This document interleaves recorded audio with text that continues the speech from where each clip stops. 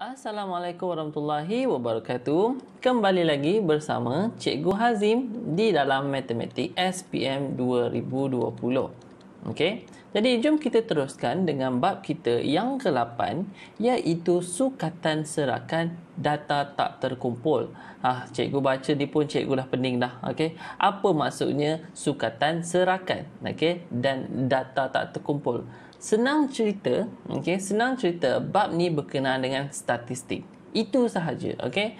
Senang cerita bab ni adalah berkenaan dengan statistik. Jadi bila dengar je perkataan statistik itu lebih baiklah. Cikgu yakin, right? Sebab statistik ni adik-adik akan tahu apa yang dimaksudkan dengan statistik, okey. So bila kita bermain dengan statistik, kita bermain dengan pengiraan nilai. Kita nak tengok, kita nak evaluate nilai kita.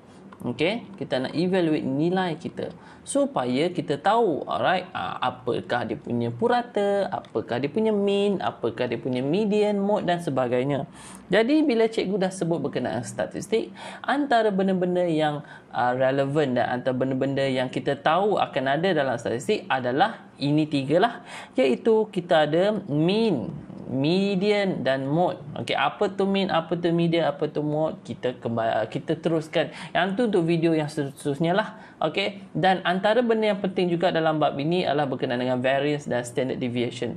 Cikgu sengaja je tulis ni dalam bahasa Inggeris, tetapi untuk kemudian uh, cikgu akan terangkan dalam bahasa Melayu lah. Jangan risau, okey. Dan apa maksud data tak terkumpul ni? Uh, jangan risau.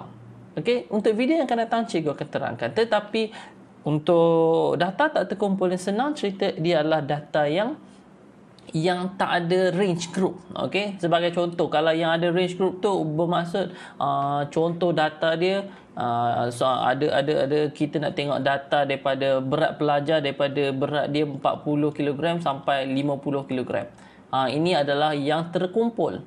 Tapi kita tak tengok yang ini. Kita tak tengok So kita hanya tengok data tak terkumpul. Maksudnya tak ada benda ni. Okey, jadi jangan risau. Jom kita tengok apa lagi yang kita kena tahu ataupun secara basicnya apa yang kita kena uh, uh, kena faham. Kita tengok dalam statistik antara benda-benda yang penting adalah iaitu nilai yang paling besar, okey? Iaitu di sini kita sebutnya sebagai maximum value. Okey, maximum value. Dan seterusnya minimum value iaitu nilai yang paling kecil okey? Nilai yang paling kecil which is minimum value. Then julat and then julat antara kuartal dan ada juga berkenaan dengan mean median dan mode okey? Jadi ini adalah benda yang adalah statistik. Ada benda yang kita kena tahu tentang julat dan ada juga benda yang kita kena tahu tentang julat antara kuartal. Jadi apakah maksud julat tu? Julat tu adalah nilai paling besar tolak yang nilai paling kecil okey Alright, nilai yang paling besar tolak nilai yang paling kecil. Tetapi maksud yang sebenarnya julat dia adalah kita nak tengok gap dia. Kita nak tengok uh, perbezaan dia. Ataupun dalam bahasa lain kita nak tengok gap. Apakah besar tak gap antara yang nilai yang paling besar dengan nilai yang paling kecil? Besar tak gap dia? Ha, itulah kenapa kita cari julat.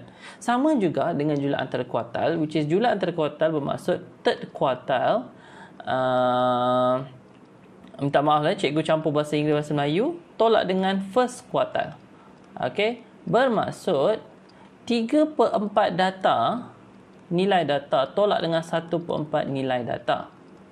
Alright? Nilai data. So ini pun sama juga kita nak tengok gap dia. Kalau gap dia besar menunjukkan kita punya data tu tak berapa cantik lah. Okay, kalau gap dia kecil ha, itu menunjukkan kita punya data tu cantik je semua Okey, tapi cantik ke besar tak menunjukkan apa-apa. Kita hanya nak tengok statistik sahaja. Dan seterusnya, macam cikgu cakap tadi, mean, median dan mode. Apakah ini dimasukkan dengan mean? Mean ni adalah sama juga macam purata ataupun average. Ataupun bahasa lain, cikgu boleh katakan mean ni adalah nilai yang adil. Okey, mungkin mungkin ada dia macam ya apa maksud nilai yang adil ni? Nilai yang adil ni. Masa nilai yang adil tu contoh dalam satu kelas aa, seorang ada RM10, seorang ada RM8, seorang ada RM9, seorang ada RM15, seorang ada RM20. So min data atau min nilai kita tambah semua nilai dan kita bahagikan bilangan oh, bilangan uh, pelajar ke atau bilangan orang di dalam kelas ke and then kita akan dapat satu nilai yang sama banyak Itu dia maksudkan sebagai nilai yang adil supaya semua orang sama banyak nilai. Okay. Dan seterusnya median. Median ni apa yang dimaksudkan tentang median? Median ni adalah maksudkan dengan uh, position di tengah. Okay. Position di tengah. Sebab tu namanya median. Okay. Lebih kurangnya macam middle point. Ha, lebih kurang. Okay. Middle point. Itu yang dimaksudkan tentang median. Alright dan mode apakah maksud mode ni? Mode ni senang saja. Dalam bahasa lain saya tulis dia adalah most famous. Okey, most famous. Kalau tak ada kekerapan, okey, maksudnya most famous dia berlaku kekerapannya lebih daripada sekali. Alright, tak apa nanti kita tengok. Cikgu macam inilah cikgu akan menggunakan term-term untuk membuatkan adik-adik akan lebih faham. Okey. Dan variance dan sisihan piawai. Okey. Ha, cikgu cakap tadi ini dalam bahasa Melayu. Apa yang dimaksudkan tentang variance dan sisihan piawai ni? Macam tadi, kita nak tengok gap antara, which is julat, kita tengok gap antara yang paling besar dengan gap yang paling kecil. Tetapi, variance ni adalah satu nilai untuk kita dapatkan gap gap data, okay, gap data dengan uh, nilai min. Itu yang dimaksudkan tentang variance. Okey, itu yang dimaksudkan tentang variance. Bermaksud berapa jauh nilai, okey, berapa jauh nilai. Kita nak tengok variance adalah berapa jauh nilai data dengan means. Okey.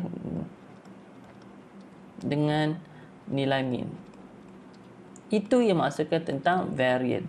So, bila dah nampak dah ini, kita akan boleh nampak. Okey kalau nilai yang besar nilai variance yang besar bermaksud data kita tu jauh dengan mean. Okey maksudnya gap dia jauh dengan mean. Jadi apa maksud sisian piawai? Sisian piawai ni adalah punca kuasa kepada variance so dia adalah salah satu benda juga. Okey salah satu kepada benda yang kita nak tengok gap kita dengan nilai mean tetapi ni kita tengok lebih mendalam. Okey maksudnya sisian piawai ni lagi detail Okey, lagi detail. Jadi, itu sahaja berkenaan dengan uh, apa yang adik-adik kena tahu tentang nilai-nilai dan cara pengiraan di dalam statistik di dalam bab ini. Tetapi adik-adik juga kena tahu berkenaan dengan data representation. Bermaksud akan ada rajah-rajah yang berkaitan rapat dengan dalam bab ni. Apa maksud rajah-rajah tu bermaksud ada raja-raja yang adik-adik kena faham. Okey, ada raja-raja yang ataupun gambar ke ataupun graf ke yang adik-adik kena faham supaya boleh faham bab ini dengan senang. Okey.